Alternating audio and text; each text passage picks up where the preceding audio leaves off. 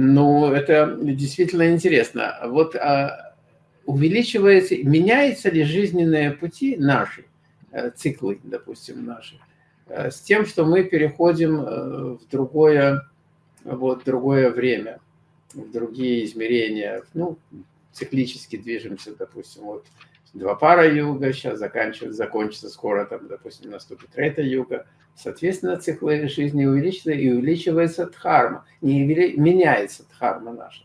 Как она меняется, в какой так сказать, пропорции?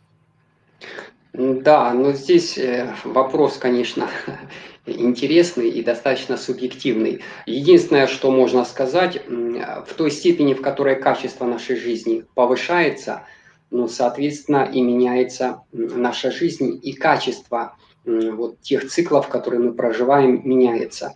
Естественно, это можно так э, сказать, что если я из э, обычной школы перехожу ну, в такую как бы э, элитную школу, да, в этой элитной школе я прохожу, ну, казалось бы, те же предметы, которые и в обычной но эти предметы я прохожу на более высоком уровне, и когда я выхожу из этой школы, ну, я становлюсь намного более классным специалистом, чем тот, кто закончил обычный, например, колледж. Да?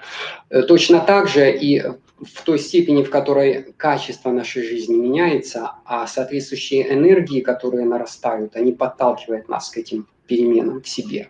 В той степени, в которой качество жизни наше выходит на более высокий уровень, уровень и те жизненные циклы, которые мы с вами проживаем, они э, проживаются на более высоком уровне. То есть э, к нам приходят более высокие результаты и э, возможность э, как бы проживать и испытывать более высокие состояния жизни.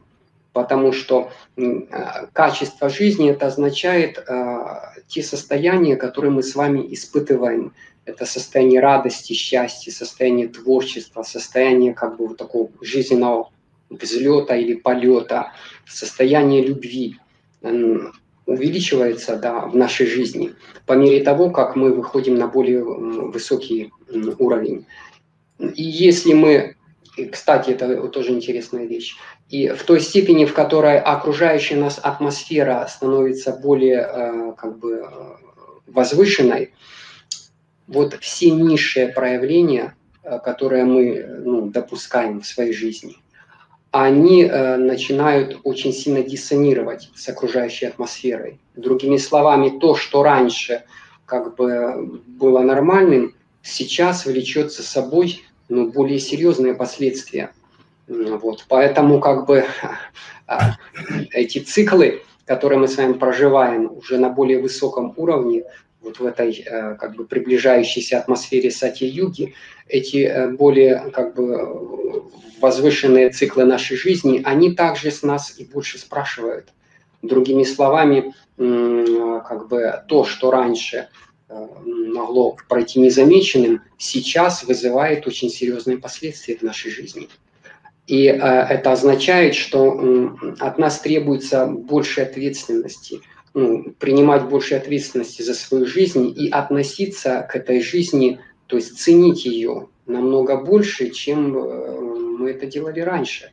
То есть если в нашем распоряжении э, вместо э, как бы небольшой суммы денег появился какой-то большущий капитал, да, огромное состояние вдруг ко мне пришло, то и степень ответственности за то, как я с ним обращаюсь, также повышается.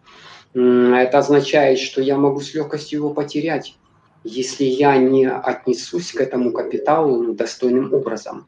И опять же, я могу примножить этот капитал, если вот я э, приму на себя вот такую повышенную ответственность. Поэтому сейчас время, которое требует от каждого из нас э, более ну, повышать степень ответственности за свою дхарму, за свою жизнь, за то, как мы проявляем себя в этой жизни, за отношение к окружающим людям, к окружающему миру, за то, какую пользу мы приносим, какой вклад мы делаем в этот мир.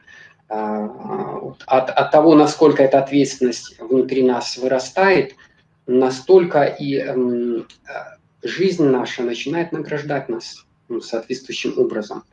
А, то есть вместо страданий которые мы испытывали, к нам будут приходить возможности реализовывать себя творчески, ну, испытывать радость, счастье, переживать вот это наслаждение или правильнее сказать, э, вот это как бы э, творческий, э, творческий, творческое вдохновение испытывать от того, как мы проживаем свою жизнь.